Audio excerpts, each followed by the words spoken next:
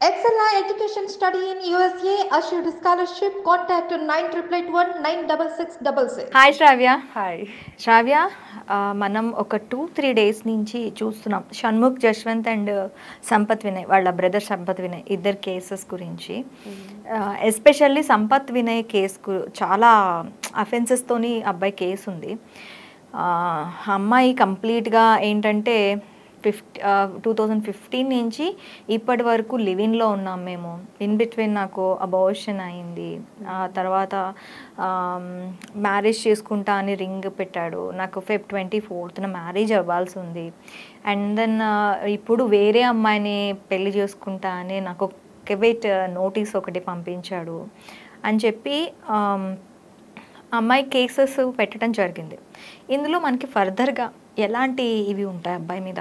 అంటే డిఫరెంట్ డిఫరెంట్గా వినిపిస్తుంది నాకు. అబ్బాయికి శిక్ష పడుతుందని కొంతమంది అంటే మ్యాక్సిమం మోస్ట్ ఆఫ్ ఆల్ శిక్ష పడుతుందని చెప్పి అంటున్నారు. నిన్న దిలీప్ శుంక్ర గారు ఒక స్టేట్మెంట్ ఇచ్చారు. ఆ అబ్బాయిని మీడియా సపోర్ట్ ఉన్న వాళ్ళు. నేను ఒకప్పుడు నాకు జరిగిన కొన్ని ప్రాబ్లమ్స్ వల్ల మీడియా బాగా అత్యుత్సాహం చూపించింది నాకు నా జరిగిన కేసెస్లో. సో ఆ టైంలో నేను చాలా డిప్రెస్ అయ్యాను. I'm against to media. So నేను మీడియా అత్యుత్సాహం చూపించే ఇలాంటి కేసెస్లో నేను ఖచ్చితంగా మీడియాకి వ్యతిరేకంగా నేను చేస్తాను అనేది ఆయన ఇదనమాట తను ఈ దీంట్లో ఏం చెప్పారు అంటే నేను అబ్బాయిని సంపత్ వినయ్ని ఎలా అయినా బయటకు తీసుకొస్తాను అని చెప్పంటున్నారు ఆల్మోస్ట్ ఆఫ్ ఆల్ ఇప్పుడు అబ్బాయి మీద three seventy six four seventeen four twenty cases నాకు తెలిసి ఈ త్రీ కేసెస్ ఫైల్ అయ్యాయి. ఈ కేసెస్లో ఆ అమ్మాయికి అంటే ఆ అమ్మాయి పెట్టింది కాబట్టి ఈ ఎంతవరకు స్టాండ్ అయి ఉంటాయి కేసెస్? అసలు ఏం జరుగుతుంది ఫర్దర్గా ఇన్వెస్టిగేషన్లో? కానీ ట్రయల్స్కి వెళ్ళినప్పుడు కానీ.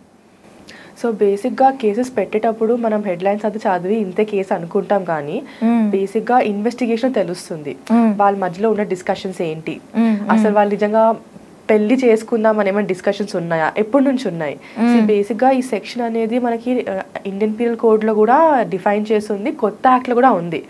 ఒక మిస్కన్సెప్షన్తో ప్రామిస్ చేసి మ్యారేజ్ ఫిజికల్ కాంటాక్ట్ ఉండి మ్యారేజ్ చేసుకుంటున్నా అని చెప్పేసి అలాంటి ఇన్సిడెంట్ ఉన్నప్పటికీ పనిష్మెంట్ ఉంటుందని చెప్పేసి. And punishment is severe. Ten years వరకు పనిష్మెంట్ ఉంది. అంత చిన్న ఆఫెన్స్ ఏం కాదు. బయటికి రావడం కూడా అంత కష్టం. ఇట్స్ నాట్ దట్ ఈజీ అని చెప్తున్నా.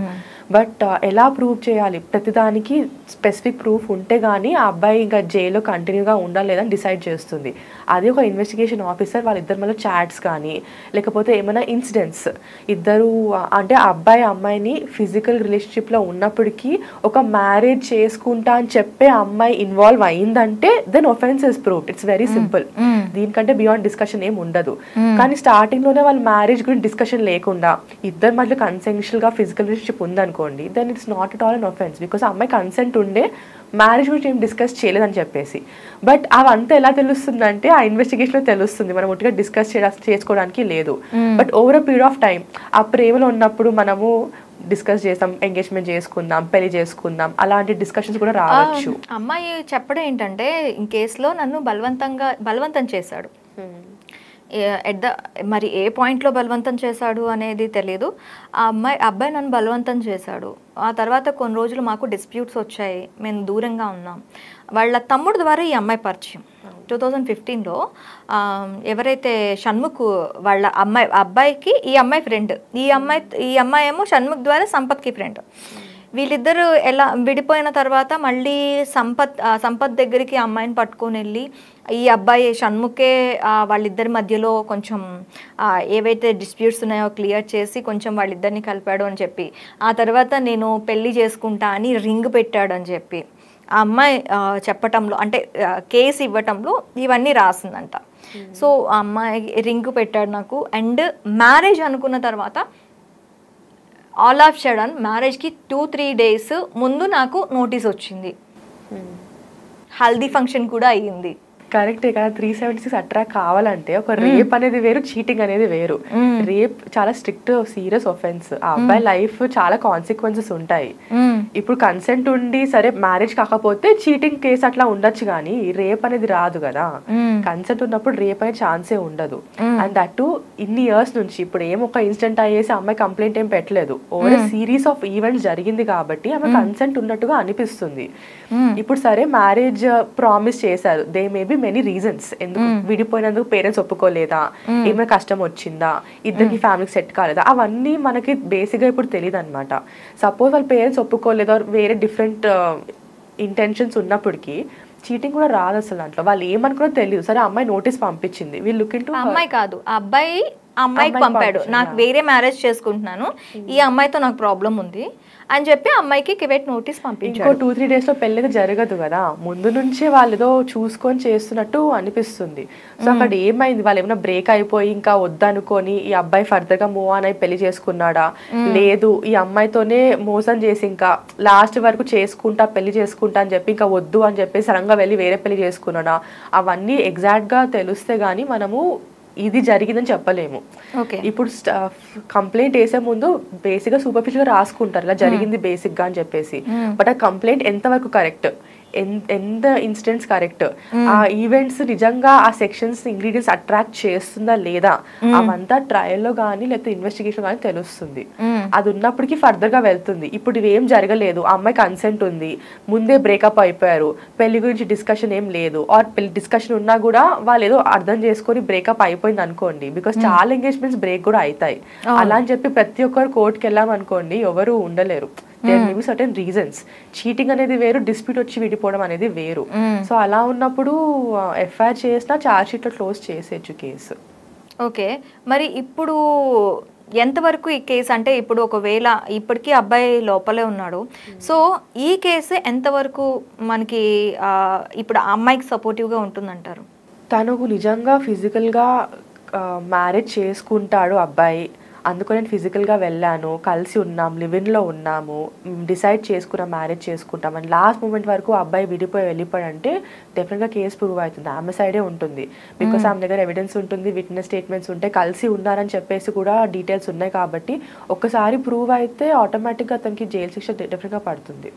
ఓకే మరి సంపత్ వినయ్కి ఎలాంటి ఇది ఉంటుంది? అంటే ఒకవేళ ఈ కేసు నుంచి బయటపడడానికి ఛాన్సెస్ ఏముంటాయి? కేసు నుంచి బయటపడినాక ఒకసారి క్లోజ్ అయిపోతే అతని పైన అలిగేషన్స్ ఏమి ఉండవు. బట్ ఇది కంటిన్యూ అయినప్పటికీ కాన్సిక్వెన్సెస్ చాలా ఉంటాయి. బేసిక్గా బెయిల్ వచ్చినా కూడా కండిషనల్ బెయిల్ ఉంటుంది. ఉట్టిగా బెయిల్ ఇచ్చేసి మీ ఇష్ట ప్రకారం చేయడానికి అట్లా ఉండదు. కండిషన్స్ ఉంటాయి. ట్రావెల్ చేయొద్దు. ప్రతిసారి పోలీస్ స్టేషన్లో అపియర్ ఇవ్వాలా?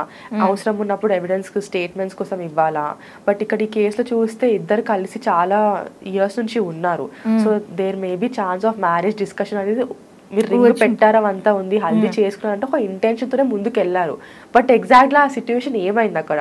ఎందుకు బ్రేక్ అయింది? ఇద్దరు అనుకొని చేశారా లేకపోతే ఒకటేసారి ఆ అబ్బాయి ఎందుకు వద్దు అనుకున్నాడు?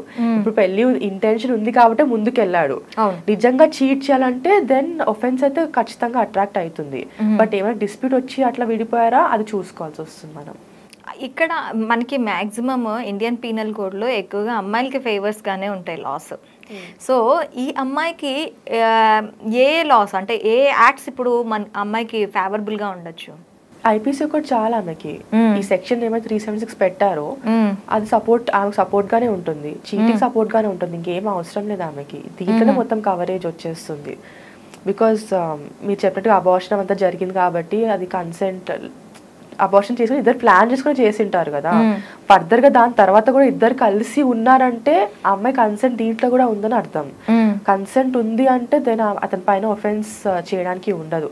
బట్ కొన్ని ఇన్స్టెన్స్ తీసుకున్నామంటే చాలా మంది కావాలని చేస్తారు. మనీ ఎక్స్ట్రాక్ట్ చేయడానికి లేకపోతే వాళ్ళ లైఫ్ పాడు చేయడానికి. అట్లాంటి ఇన్స్టెన్స్ ఉన్నప్పుడు అది వేరే వెళ్తుంది. బట్ ఇక్కడ they must be some kind of misunderstanding ఉండొచ్చు. లేకపోతే లాస్ట్ మూమెంట్కు ఎందుకు వద్దు అనుకున్నారు బికాస్ హల్దీ వాళ్ళకి వెళ్ళాలంటే నెక్స్ట్ డే పెళ్ళనని అర్థము. ఒకటేసారి మారిపోయి టూ త్రీ డేస్ కొత్త అమ్మాయి దొరికిందంటే అన్- దే- ఏదో జరిగింది అక్కడ ఒట్టిగా అయితే అట్లా కాదు కదా. సో ఇప్పుడు లాస్ట్ కంక్లూజన్ ఏమి ఇస్తారు దానికి? ఒఫెన్స్ అవుతుందా లేదా ఏంటి అని చెప్పేసా. హై ఛాన్సెస్ ఒఫెన్సే హై ఛాన్సెస్ ఉంది. పనిష్మెంట్ కూడా టెన్ ఇయర్స్ ఉంది కాబట్టి ఎంతవరకైనా పనిష్మెంట్ రావచ్చు కోర్ట్ డిసైడ్ చేస్తుంది maximum sentence ten years but నిజంగా అబ్బాయి కావాలని చెప్పి మోసం చేసి అమ్మాయిని ఓన్లీ అడ్వాంటేజ్ కోసం పెట్టుకొని పెళ్ళి చేసుకుంటా అని చెప్పి అబద్ధాలు ఆడి అడ్వాంటేజ్ తీసుకొని ఉంటే డెఫినెట్గా శిక్ష పడుతుంది అబ్బాయికి. ఓకే. ఇప్పుడు షణ్ముఖ్ జశ్వంత్ విషయానికి వద్దాం. ఆ అబ్బాయి మీద twenty seven act twenty seven కింద NDPS NDPS act twenty seven కింద కేస్ బుక్ అయింది. ఆ అబ్బాయికి ఫర్దర్గా ఎలా ఉండబోతుంది? తనకు ఆల్రెడీ ముందు ఒఫెన్సెస్ జరిగాయి. హ్యాబిచువల్ ఒఫెండర్ కింద వచ్చే ఛాన్సెస్ ఉన్నాయి. అన్ఫార్చునేట్ ఏంటంటే అసలు ఒక పర్సన్ని పట్టుకోవాలంటే వారెంట్ కావాలా? మెజిస్ట్రేట్ నుంచి అన్నా ఒక గజెట్ ఆఫీసర్ నుంచి అన్నా సర్చ్ కోసం అన్నా సీజర్ కోసం అన్నా లేకపోతే అరెస్ట్ కోసం అన్నా వారెంట్ కావాలా? కానీ ఇక్కడ ఏం జరిగింది? పోలీసు వాళ్ళు వేరే కేసులో వెళ్ళేసి ఈ కేసులో అతను దొరికిపోయాడు. అరెస్ట్ ఇమీడియట్గా చేసే రైట్ వాళ్ళకైతే ఉంటుంది. క్రిమినల్ ప్రొసీజర్ కోడ్ కింద వాళ్ళు వాళ్ళు సోమోటగా చూసారు కాబట్టి వాళ్ళే కేసు టేకప్ చేశారు. అండ్ ఇక్కడ కావాల్సిన డిస్కషన్ ఏంటంటే క్వాంటిటీ ఎంత వాడాడు. ఆ క్వాంటిటీ బట్టి ఒఫెన్స్ ఏంటి అని చెప్పి తెలుస్తుంది. బేసిక్గా కమర్షియల్ క్వాంటిటీ ఉంటుంది ఇంటర్మీడియట్ క్వాంటిటీ ఉంటుంది స్మాల్ క్వాంటిటీ ఉంటుంది. ఈ క్వాంటిటీ బేస్డ్ పైన ఎలాంటి డ్రగ్స్ వాడాడో దాని బేస్ పైన పనిష్మెంట్ ఉంటుంది. సో డిఫరెంట్ స్టేజెస్ ఉంటాయి. ఇప్పుడు గాంజా పట్టుకున్నారు కాబట్టి మేబీ నాకు తెలిసి స్మాల్ క్వాంటిటీ ఉండొచ్చు. దానికి మినిమం ఇంప్రిజన్మెంట్ వన్ ఇయర్ వరకు ఉండొచ్చు. వన్ ఇయర్ వరకు. ఒకవేళ అది ప్రూవ్ అవటానికి ఏం లేదు. ఇంకా ఎదురుగా దొరికిపోయి- దొరికిపోయాడు కాబట్టి అది కూడాను ఎవరు రిపోర్ట్ చేస్తే అంటే వాళ్ళు ఏదో కోపం మీద రిపోర్ట్ చేశారు అనుకోవచ్చు. డైరెక్ట్గా పోలీసుల కంటే పడ్డాడు కాబట్టి ఇంకా దాని గురించి వేరే ఎవిడెన్స్ కూడా అవసరం లేదనుకుంటా దీనికి. లేదు వాళ్ళు డైరెక్ట్గా చూసారు కాబట్టి పోలీసు వాళ్ళు విట్నెస్ అయిపోతారు కదా ఇక్కడ సో పోలీసు వాళ్ళు విట్నెస్ అంటే వాళ్ళు వెళ్ళింది కూడా వేరే పర్పస్కి మాకు దొరికారు అతను వాళ్ళు సీజ్ చేసినప్పుడు ఏమైతే సబ్స్టెన్స్ దొరికిందో అది ఫస్ట్ ల్యాబ్ టెస్ట్కి పంపిస్తారు. ఆ సబ్స్టెన్స్ ఏంటి ఎంత ఉంది ఆ అబ్బాయికి కూడా డోప్. టెస్ట్ అయింది సో అట్లా అంతా ఉన్నప్పుడు ఇట్స్ వెరీ క్లియర్ అతను తీసుకుంటాను చెప్పేసి. అందుకనే ఎక్కడి నుంచి దొరికిందో చెస్- చూసుకుంటారు. ఇప్పుడు వాళ్ళు కూడా అరెస్ట్ చేస్తారు. ఇక్కడ ఏంటంటే ఎన్డీపీఎస్ యాక్ట్లో మ్యానుఫ్యాక్చర్ చేసేవాడు. ఒక ఇంట్లో సపోజ్ అది వాళ్ళు కాబట్టి ఇక్కడ సంబంధం లేదు. వేరే రెంటెడ్ హౌస్ చేసిండు అనుకోండి ఓన్కి తెలిసినా ఓన్కి పనిష్మెంట్ ఉంటుంది. ఓకే. ఐడియా ఉంది కాబట్టి. చేస్తున్నారు చేపిస్తున్నారు అని చెప్పేసి ఉంటది.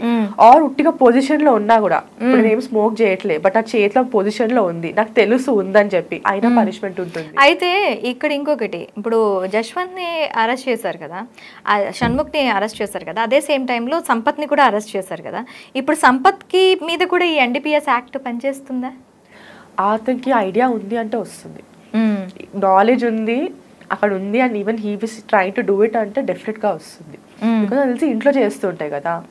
సో ఆటోమేటిక్గా కాన్షియస్నెస్ ఐడియా ఉందని చెప్పేసి అక్కడ ఎంత మంది ఉన్నారో అంత మంది మీద పడుతుంది. ప్రిజంప్షన్ ఉన్నట్టు. బేసిక్గా అతనికి నాలెడ్జ్ ఉంది. హీఈస్ ఆల్సో మేబీ యూజర్ అని చెప్పేసి తీసుకోవచ్చు.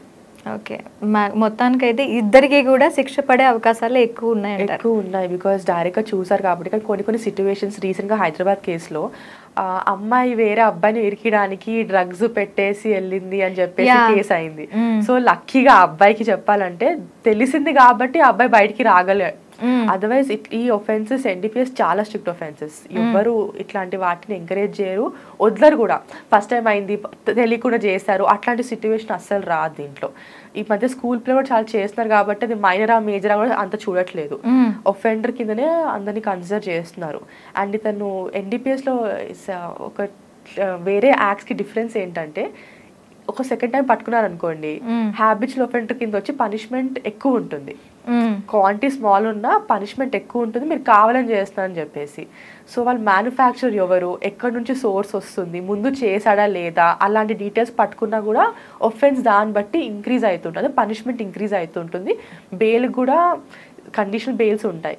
మ్మ్. ఆ బెయిల్ కూడా డిఫికల్ట్ ఉంటుంది అనమాట రిన్యూ చేసుకోవడానికి. ఇప్పుడు బెయిల్ అంటే ఖచ్చితంగా ఇచ్చేస్తాం అట్లా ఉండదు. ఇన్ని డేస్ కని ఇస్తారు ఇన్ని మంత్స్ కని ఇస్తారు మళ్ళీ అబ్బాయి బిహేవియర్ చూస్తారు. అండ్ బికాస్ ఇది కొంచెం హై క్లాస్ కేసు కాబట్టి అందరూ దృష్టి దాని పైన ఉంది కానీ ఇట్లాంటి కేసెస్ చాలా నడుస్తున్నాయి సిటీలో చెప్పాలంటే. Okay Shravya thank you thank you very much. Thank you